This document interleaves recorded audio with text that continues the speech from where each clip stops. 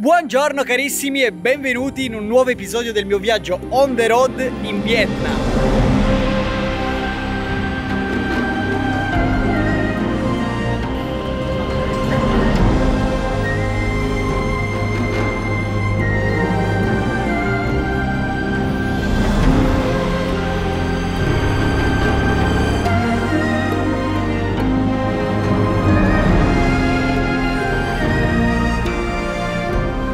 Questo video io e la mia fedele compagna di viaggio Concetta andremo alla scoperta di Hue, una delle città più belle e antiche di questo paese, che è stata anche capitale del Vietnam in passato e cercheremo di visitare alcune delle principali attrazioni presenti in città e nei suoi dintorni. Poi ci metteremo di nuovo in marcia e percorreremo una delle strade più famose di tutto quanto il Vietnam, ovvero l'Ai Van Pass.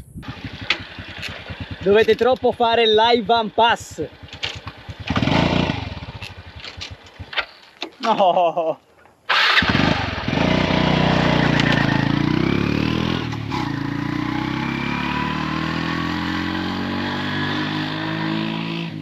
Siccome ci sono un sacco di cose che voglio farvi vedere, direi di non perdere ulteriore tempo, voi potete mettervi comodi, rilassatevi e godetevi questa nuova avventura vietnamita. Buona visione!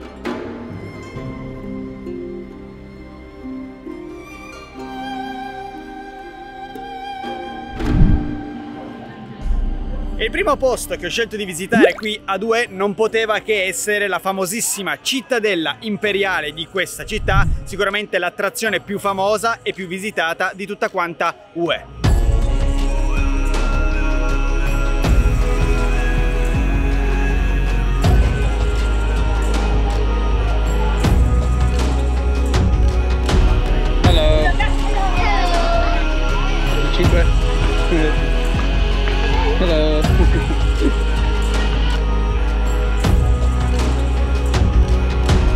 Cittadella fortificata di Hue è stata la dimora di generazioni di imperatori della dinastia Nguyen, dal 1802 fino al 1945.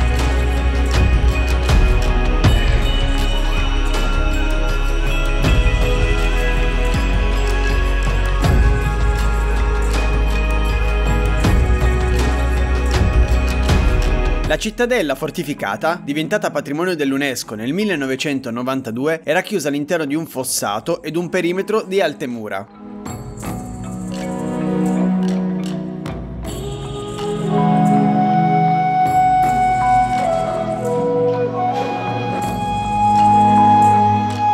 L'antica cittadella è davvero un posto gigantesco, potreste sicuramente passare qui mezza giornata. Ci sono infatti un sacco di templi e di palazzi da visitare oltre al parco che c'è tutto intorno che è veramente enorme. L'ingresso costa 200.000 dong per noi stranieri turisti.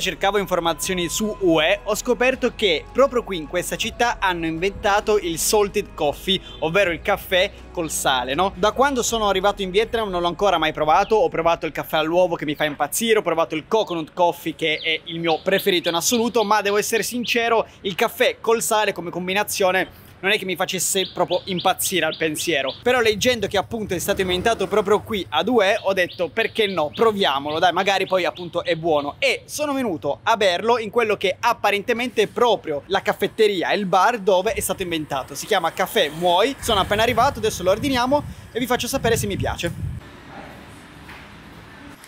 C'è una cremina sopra, come se fosse una schiuma del nostro cappuccino. Uh. Mmm. Oddio. È davvero buono. Si sente il sale, però non disturba. È sicuramente molto strano. Mm. In realtà non lo so se mi piace. Non lo so. C'è il sale, si sente parecchio il sale. Ma se siete in Vietnam è una cosa che perché no? Vi consiglio di provare una volta, se poi non vi piace non lo prendete più. Sto ancora cercando di capire se mi piace oppure no. È strano. Sa tanto di sale. C'è tanto, c'è proprio, è proprio caffè al sale. Però ci stavo a provarlo, dai.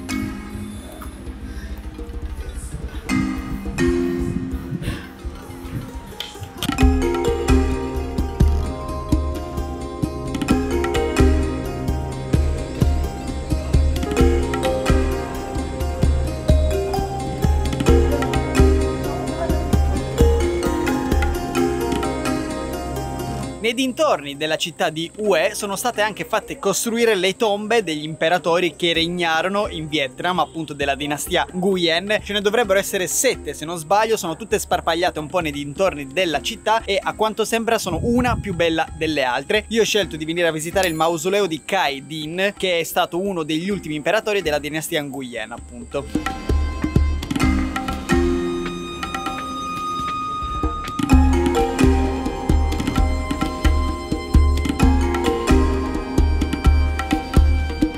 Le tombe degli imperatori di Ue sono dei complessi grandiosi in cui, oltre al luogo di sepoltura vero e proprio, furono edificati palazzi, padiglioni e templi. Nella cultura vietnamita il culto degli antenati è una tradizione molto osservata e molto antica, tant'è che i sovrani Nguyen fecero edificare le tombe secondo l'arte del Feng Shui, ben prima che la loro ora fosse arrivata. Altre due tombe molto note e visitate sono quella dell'imperatore Min Mang e quella di Tuduk. Tomba che è sicuramente molto suggestiva se non altro per la posizione zone in cui è stata costruita perché infatti è completamente immersa dalla natura e si trova sulla collina quindi da lassù poi la vista è spettacolare. Adesso la mia visita a due però non è ancora finita perché infatti voglio farvi vedere ancora un posto che ho scoperto un po' a caso e dovrebbe essere un parco divertimenti abbandonato.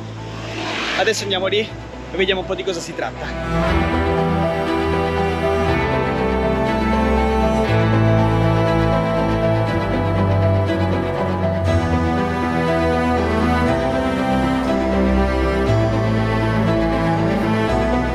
mi trovo al Tui Tien Lake e proprio su questo lago hanno costruito un parco a temi divertimento che però è abbandonato. Non so il motivo, non so da quanto tempo è abbandonato, so solo che è diventata un'attrazione turistica. wow, che roba strana. è un mega drago costruito su un lago. Oh wow. Wow, wow, wow. Ma che roba, ma che roba.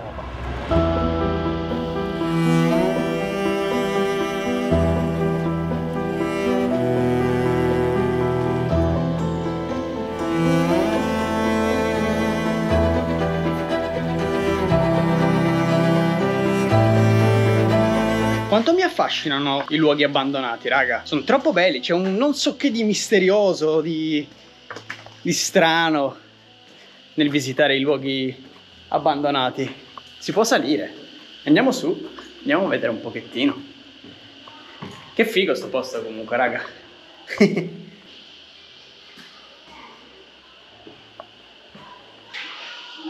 wow.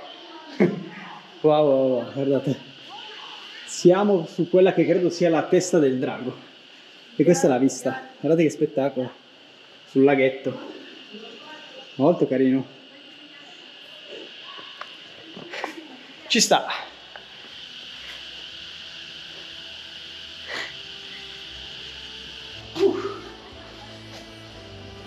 Wow. Wow. Che spettacolo. Bye.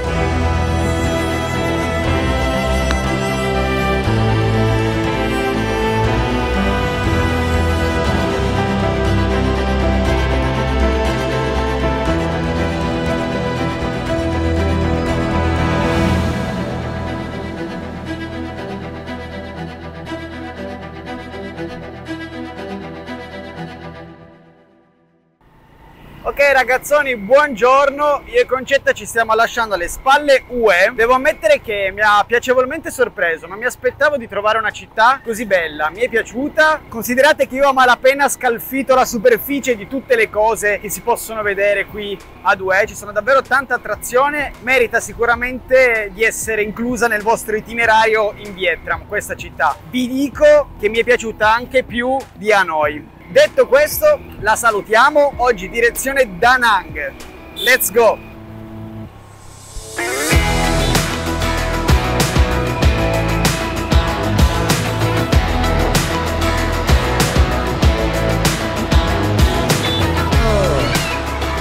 Ciao piccoli! Ciao! Ciao!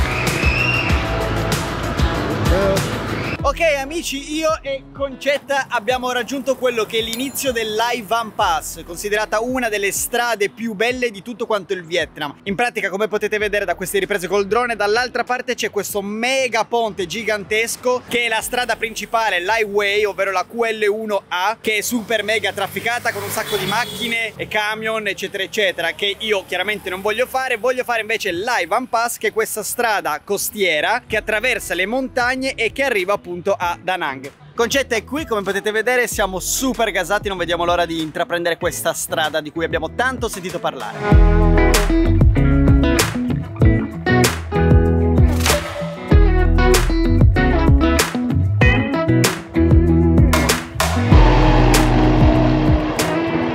Ecco il cartello, amici miei, il cartello che dichiara che stiamo ufficialmente iniziando Live on Pass. Let's go!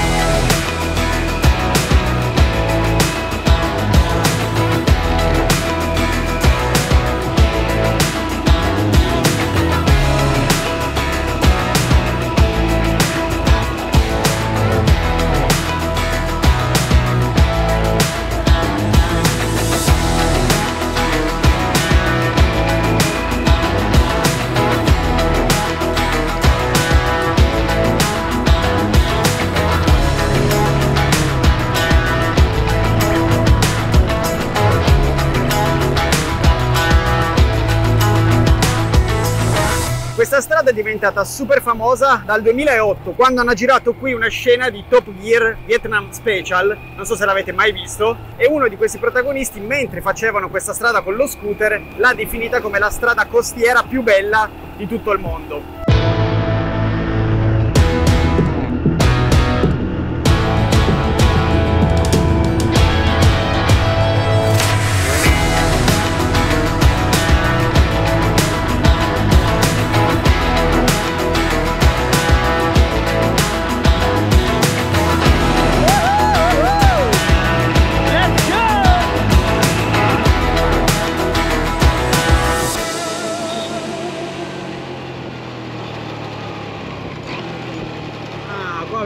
Sacco di baretti dove potete fermarvi a bere un caffè o fare pranzo.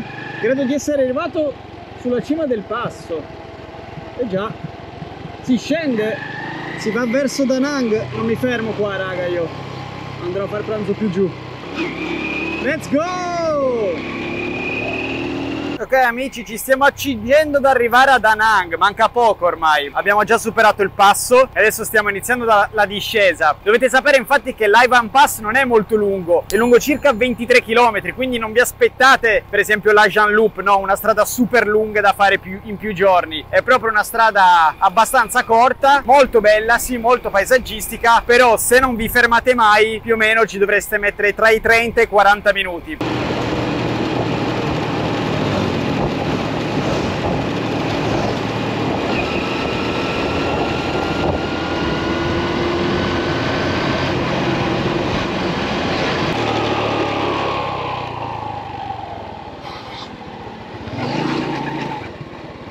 Cambiato idea va vediamo se c'hanno cibo perché sto morendo di fame bello che bella sta lista buona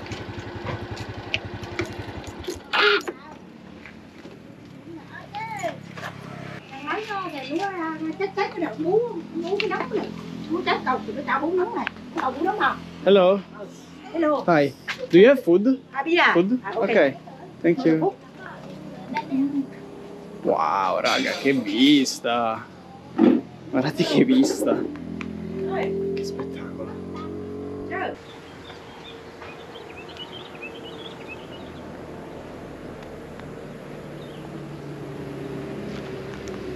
Per pranzo noodles con carne di manzo, una buonissima limonata con questa incredibile vista. Buon appetito!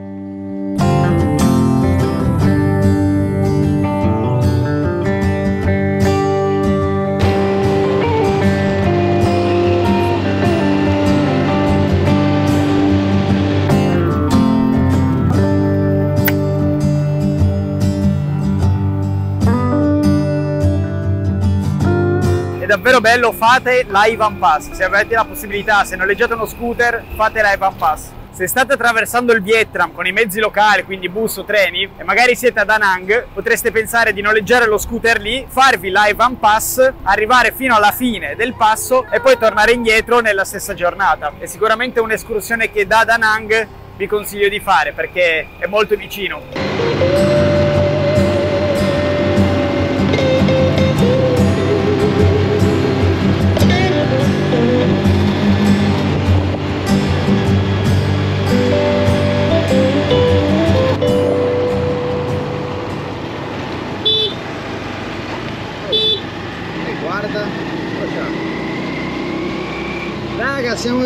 Da Nang. Città sulla costa molto molto grande. Chiaramente ve la farò vedere poi nel prossimo video perché anche qui di robe da fare da vedere ce ne sono parecchie. Però anche questa è andata. L'abbiamo fatta io e Concetta. Che brava questa, questo scooterino, che bravo! Mi sta accompagnando attraverso tutto il Vietnam. Quanto sono orgoglioso di noi! Quanto sono orgoglioso di Concetta ce l'abbiamo fatta raga anche questa è andata che bello che bello viaggiare così che bello che bello hello hi I have a reservation Oh, yes. Can you tell me the Filipino burgers? uh,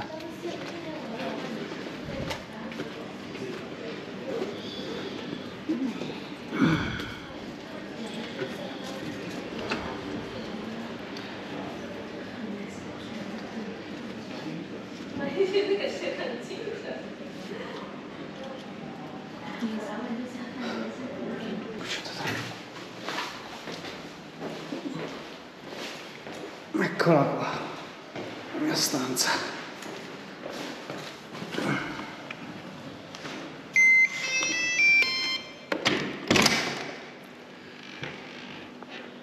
Oh wow! Che meraviglia! Wow wow wow! Due letti addirittura.